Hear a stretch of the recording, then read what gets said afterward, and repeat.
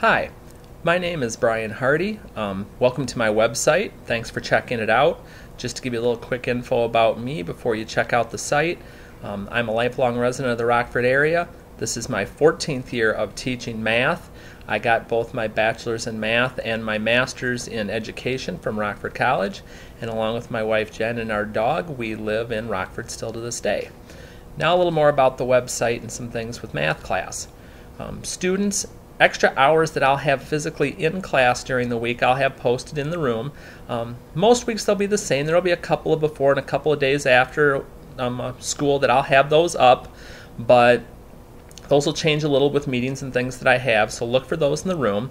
Um, but if you ever miss class or lose a note sheet or an assignment, all those things can be found on the web page here. If you look up above at the links for your class, you just click on that, kind of hover over it a little bit, you'll find that you can see what's going on in class day by day and also find notes, assignments, when tests are, things like that to help you out too. And I also have videos of all the lessons on there too in case you miss a day or just need a little refresher on something when you're home.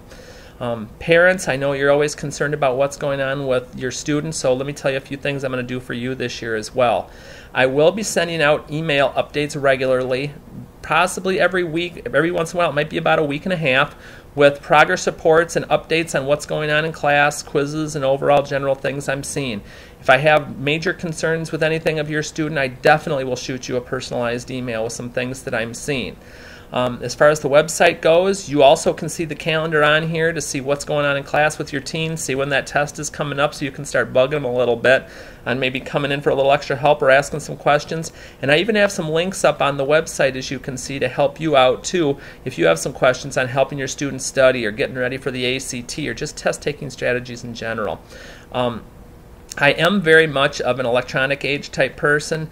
I don't do a whole lot with the phone, so if possible, um, please make contacts to me through my Harlem website email address at brian, B-R-I-A-N dot harty, H-A-R-T-Y, at harlem122.org. And that's the best way to get hold of me most of the time. Or just have your student tell me that you need to get hold of me and I can shoot an email to you that way. I really look forward to working with you and your team this year. So if you have any questions, let me know. Thank you.